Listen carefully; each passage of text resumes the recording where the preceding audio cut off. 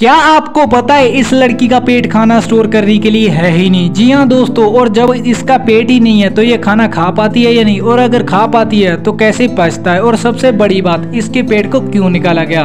सब बताता हूँ बने रहेगा वीडियो में एंड तक। इस लड़की का नाम नताशा है, और ये बात 2010 की है, जब इनको अपने बाएँ कंधे में दर्द महसूस होने लगा।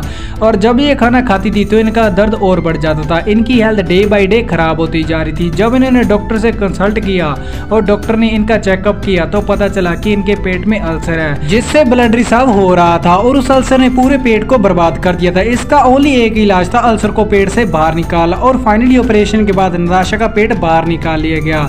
जो खाना ज़िंदगी का अहम अंग होता, अब वही इनके जीवन में नहीं रहा, और इसी वजह से अब ये खाना नहीं खा पाती, और अगर खाती है तो सिर्फ़ लिक्विड और डॉक्टर के बताए अनुसार, इनका खाना डायरेक्ट स्मॉल इंटेंस में जाता है, और उनको बचाकर खाना पड़ता है, और टाइम टाइम पर अपना चेकअप करवाना पड़ता है। भले इनका पेट नहीं रहा, लेकिन आज भी ये पूरी मोटिवेटेड है, और इनका जो पेशा है, वो है कुकिंग सो इनके सास के लिए एक लाइक तो बनता ही है। ऐसी मोर इंटरेस्टिंग वीडियो के लिए like share subscribe to my channel